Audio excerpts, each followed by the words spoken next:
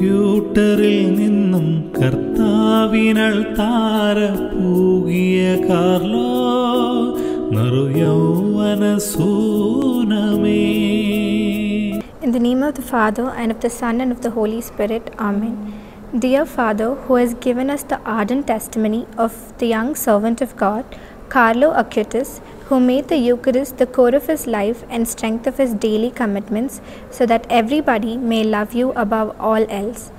Let him soon be counted among the blessed and saints in your church.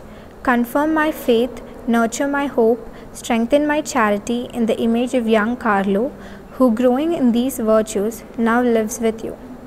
Mention your request. I trust in you, Father, and your beloved Son Jesus, in the Virgin Mary, our dearest Mother, and in the intervention of your servant Carlo Acutis. To always be close to Jesus, that's my life plan. The sacrament of the Eucharist, my highway to heaven. Blessed Carlo Acutis, pray for us.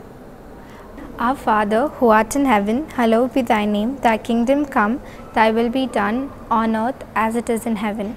Give us today our daily bread, and Forgive us our trespasses, as we forgive those who trespass against us. Lead us not into temptations, but deliver us from all. Hail Mary, full of grace, the Lord is with you. Blessed are you among women, and blessed is the fruit of thy womb, Jesus. Holy Mary, Mother of God, pray for us sinners, now and at the hour of our death. Amen. Glory be to the Father, and of the Son, and of the Holy Spirit, as it was in the beginning, now shall be, world. താർഭുതം പോലും തോറ്റുപോയല്ലോ നിന്നാത്മവിശുദ്ധിക്കു മുന്നിൽ.